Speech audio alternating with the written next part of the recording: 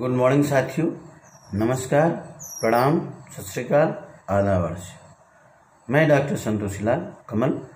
आज आपके सामने एक उच्च कोटि का पाठ लेकर उपस्थित हुआ हूँ, जिसके लेखक हमारे राम वृक्ष बेनीपुरी जी हैं। और इनकी लेखनी में ऐसा जादू है कि वाह आडम्बरों का विरोध किस तरह से करते हैं, कबीर पंथ को किस तरह से बढ़ावा देते हैं, इनके पात्रों में सजीव हो उठता है। तो आपको बताएँगे कि किस तरह से बाल गोविंद भगत अपने वाह आडम्बरों से किस तरह से दूर रहता है और लोगों को भी दूर रखने की प्रेरणा देता है। तो बाल गोविंद भगत रेखा चित्र के माध्यम से लेखक श्री वेणी प्रसाद राम वृक्ष वेणीपुरी राम वृक्ष वेणीपुरी जी ने एक ऐसे विलक्षण चरित्र का उद्घाटन किया है, जो मनुष्यता, लोक संस्कृति और सामूहिक चेतना का प्रतीक है। वेशभूषा या वाह्य अनुष्ठानों से कोई सन्यासी नहीं होता। सन्यास का आधार जीवन के मानवीय सरोकार होते हैं। बाल गोविंद भगत इसी आधार पर लेखक को सन्यासी लगते हैं। यह पाठ सामाजिक रूढ़ियों पर भी प्रहार करता है। इस रेखा चित्र की एक विशेषता यह है कि बाल गोविंद भगत के माध्यम से ग्रामीण जीवन को, ग्रामीण जीवन की सजीव झांकी देखने को मिलती है। तो आइए जानिए बाल गोविंद भगत के बारे में। थोड़ा थोड़ा आपको जो मुख्य गद्यांश हैं, उनको मैं आप पढ़ूँगा और उसके बाद प्रश्नोत्तर बताऊँगा। पाठ में आई हुई कठिन शब्दों का काठिन्य निवारण करूँगा। बाल गोविंद भगत, बाल गोविंद भगत, मझोले कद के गोरे चिट्ठे आदमी थे। साठ से ऊपर के ही होंगे बाल, पक गए थे। लंबी दाढ़ी या जटाजूट तो नहीं रखते थे, किंतु हमेशा उनका चेहरा सफ़ेद बालों से ही जगमग किए रहता। कपड़े बिल्कुल कम पहनते।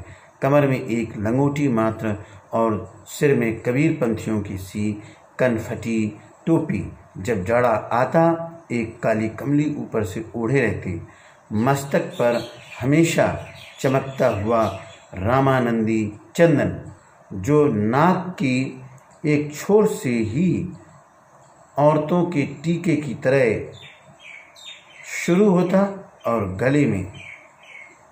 और होता और गले में तुलसी की जड़ों की एक बेडौल माला बांधे रहती। ऊपर से, ऊपर की तस्वीर से ये नहीं माना जाए कि बाल गोविंद भगत साधु थे।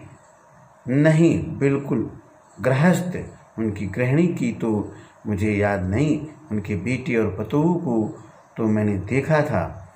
थोड़ी खेती बाड़ी भी थी। एक अच्छा साफ़, सुथरा मकान भी था, किंतु खेती बाड़ी करते, परिवार रखते भी बाल गोविंद भगत साधु थे। साधु की सब परिभाषाओं में खड़े उतरने वाले कबीर को साहब मानते थे। उन्हीं के गीतों को गाते, उन्हीं के आदेशों पर चलते कभी झूठ नहीं बोलते, खराब व्यवहार करते। किसी से भी तो टूक बात करने में संकोच नहीं करते, न किसी से खाम खा झगड़ा मोल लेते, किसी की चीज़ न छूते, न बिना पूछे व्यवहार में लाती। इस नियम को कभी कभी इतनी बारीकी तक ले जाती कि लोगों को कौतूहल होता। कभी कभी वे दूसरे के खेत में, कभी वे दूसरे के खेत में शौच के लिए भी नहीं बैठती। वे गृहस्थ थे, लेकिन उनकी सब चीज़ साहब की थी। जो कुछ खेती में पैदा होता, सिर पर लाद कर पहले उसे साहब के दरबार में ले जाते, जो उनके घर से चार कुछ दूर पर था। एक कबीरपंथी मठ से मतलब वह दरबार में भेंट रूप रख लिया, जाकर प्रसाद रूप में जो उन्हें मिलता, उसे घर लाते और उसी से घर चलाते।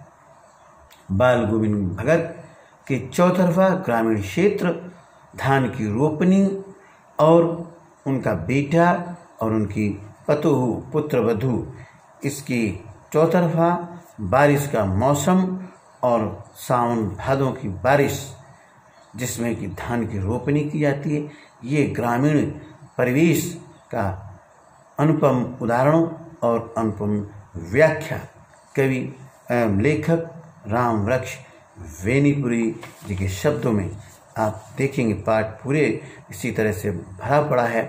सामाजिक बाह्य आडंबरों से दूर बाल गोविंद भगत जी अपने कबीर को साहब मानते थे और उनके बताए गए नियमों पर अक्षर साहब चलते थे। एक बार इनका बेटा बीमार हुआ और उसका स्वर्गवास हो गया तो उस बेटे के शव के चौतरफा ये खंजली बजाती थी और लोगों को कहते थे जश्न मनाइए। और इसके बाद, जश्न मनाने के बाद उस बेटे की शव को अपने पतोह अपने पुत्र वधु से मुखाग्नि दिलवाते हैं। ये सामाजिक रूढ़ियों पर प्रहार करते हैं और कहते हैं कि बेटा और बेटी एक समान है। जब बेटा का स्वर्गवास हो जाता है तो आदेश सात्मक, आदेशात्मक भाषा में बाल गोविंद भगत जी अपने पतो, पुत्रवधु से कहते हैं कि चली जाए यहाँ से। क्यों?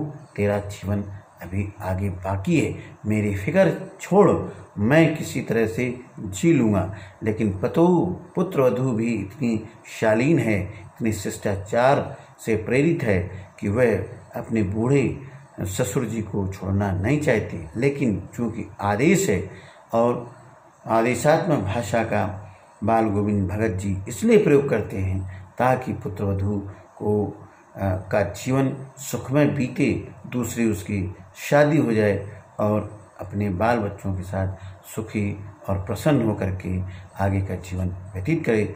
तो पुत्रवधु के मैके वाले आते हैं उनके साथ पुत्रवधु को सहर्ष चले जाते हैं और आखिर में बाल गोविंद भगत अपनी क्रियाकर्म पर डटे रहते हैं।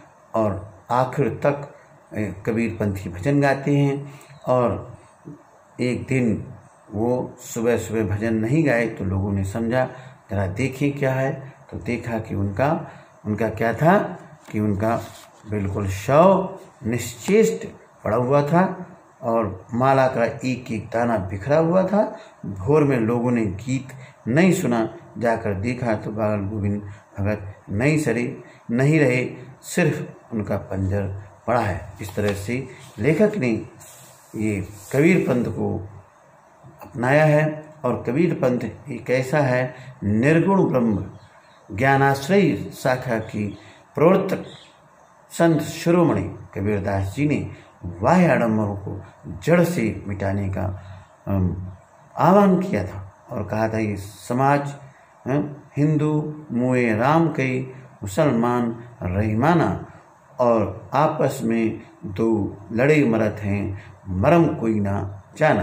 ये धर्म, ये जात सब व्यर्थ है और इसलिए कहते हैं, प्रेम मार्ग पर चलो। आपस में प्रेम, सद्भाव, सहिष्णुता के साथ लोगों के साथ पेश आइए। यही जीवन का आधार होना चाहिए। तो आइए जरा प्रश्नोत्तर कर लें। बाल गोविंद भगत ने बाल गोविंद भगत से जुड़ी गृहस्थ बाल गोविंद भगत खेतीबाड़ी से जुड़ी गृहस्थ बाल गोविंद भगत अपनी किन चारित्रिक विशेषताओं के कारण साधु कहलाते थे? ईमानदार, कर्मठ और अपने नियम, धर्म पर चलने वाले कबीर पंथ वायाडंबर को न मानने वाले, अपनी सभी अपनी करनी से, अपनी खंजली से सबका मन मोह लेने वाली ऐसी चारित्रिक विशेषताएँ रखने के कारण बाल गोविंद भगत गृहस्थ होते हुए भी साधु परंपरा में खड़े उतरते। भगत की पुत्रवधु उन्हें अकेले क्यों नहीं छोड़ना चाहती थी? क्यों बाल गोविंद भगत का शरीर जर्जर हो चुका था, वृद्धावस्था थी और उनको देख रेख करने वाला वहाँ कोई नहीं था? पुत्र वधु ही उनकी देख रेख करती थी, क्योंकि उनका पुत्र का स्वर्गवास हो चुका था। इसलिए उनकी पुत्र वधु बाल गोविंद भगत को अकेला नहीं छोड़ना चाहती थी। भगत ने अपने बेटे की मृत्यु पर अपनी भावनाएँ किस तरह व्यक्त की? सबको ज़मीन पर लिटाकर, सफ़ेद लिबास में पहनाकर, चौतरफा फूल रखकर और कबीरपंथी भजन गाती थी और सबको कहती थी, शोक मत करो, ये हमारे पुत्र की आत्मा परमात्मा में विलीन हो गई, इसलिए आप लोग जश्न मनाइए। और खंजली पर गीत कबीरपंथी गीत गाती थी। इस तरह से उन्होंने और दूसरी चीज़ क्या की, अपनी पुत्र वधु से ही अपने पुत्र को मुखाग्नि दिलाई थी, जो कि सामाजिक रूढ़ियों पर प्रहर का कार्य करती है। भगत के व्यक्तित्व और उनकी वेशभूषा वेशभूषा का अपने शब्दों में चित्र प्रस्तुत कीजिए। बाल पके हुए थे। बाल गोविंद भगत के बाल पके हुए थे। शरीर पर कम से कम कपड़े पहनते थे और एक लंगोटी पहने रहते थे। सर्दी के दिनों में केवल कम्बल एक छोटा सा ओढ़े रहते थे। हाथों में खंजली रखते थे। और कबीरपंथी भजन गाया करती थी।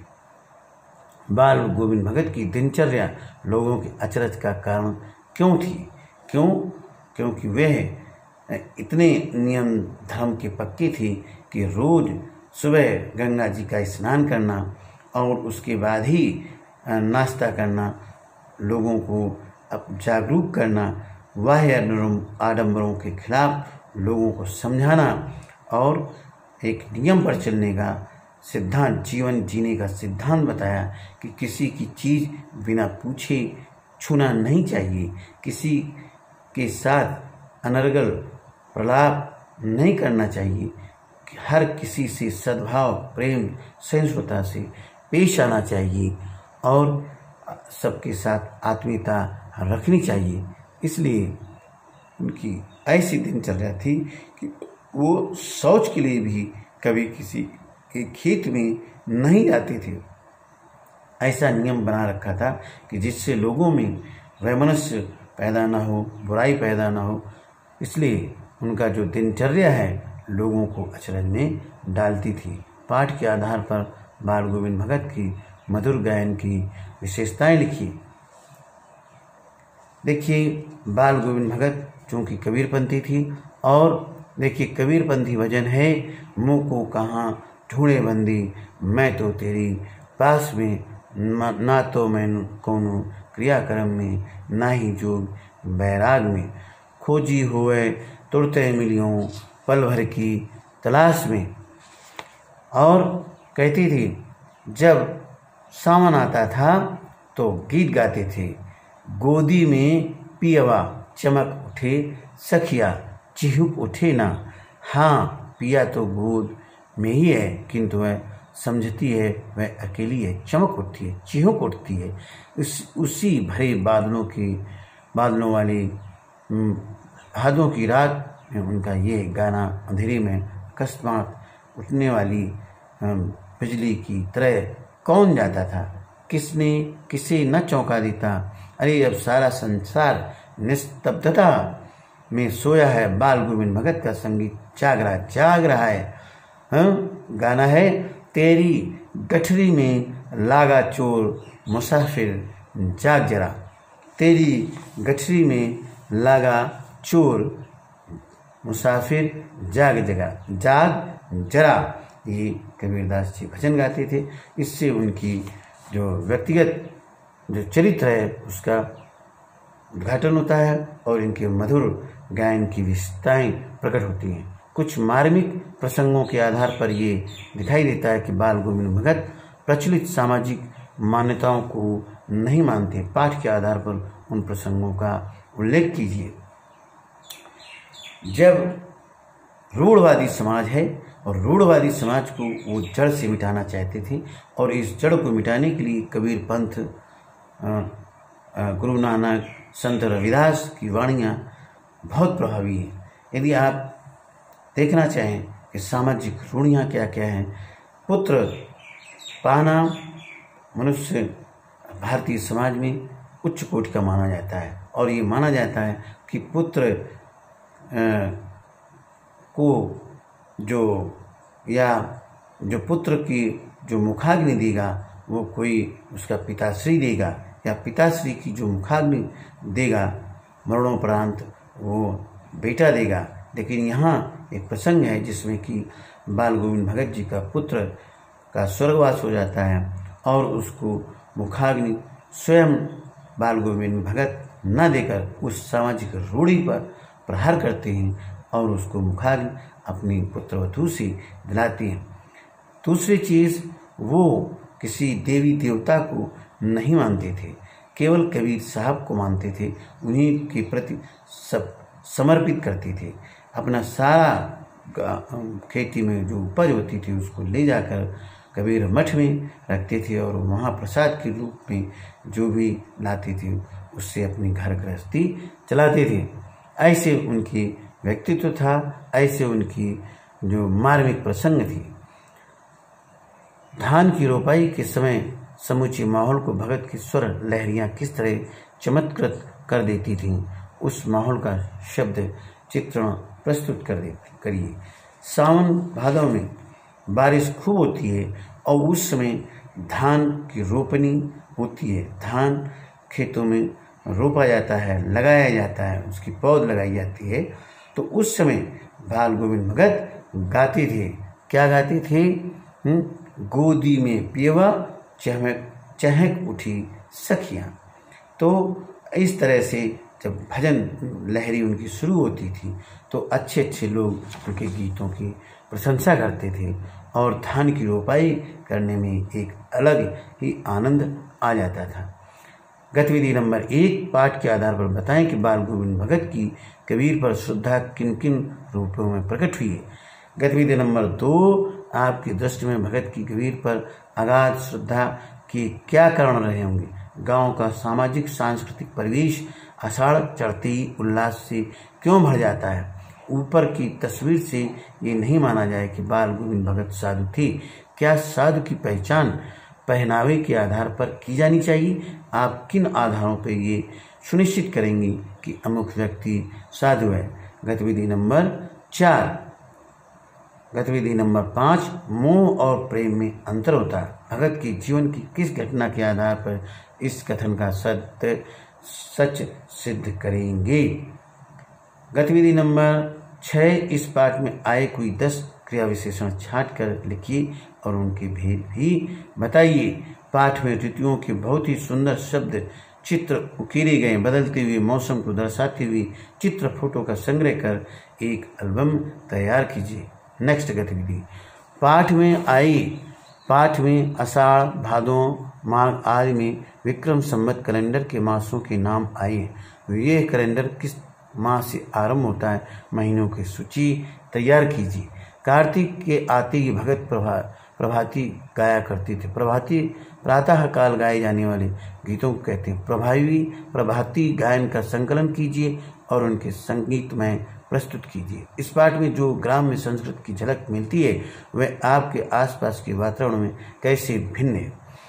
बताएँ, शब्द संपदा। शब्दार्थ देखिए, मंझोली, न बहुत बड़ा, न बहुत छोटा। कमली कम्बल पतु पुत्रवधु, पुत्र की स्त्री, रोपनी, धान की रोपाई, कलेवा, सवेरे का जलपान, पुरवाई, पूरब की ओर से बहने वाली हवा अदरतिया आधी रात खंजड़ी, डफली की ढंग का परंतु आकार में उससे छोटा एक वाद्य यंत्र निस्तब्धता, सन्नाटा, लोई, प्रातःकाल की लालिमा, कुहासा, कोहरा आवृत ढका हुआ आच्छादित, कुश, एक प्रकार की नुकीली घास, बोदा, कम बुद्धि वाला संबल, सहारा।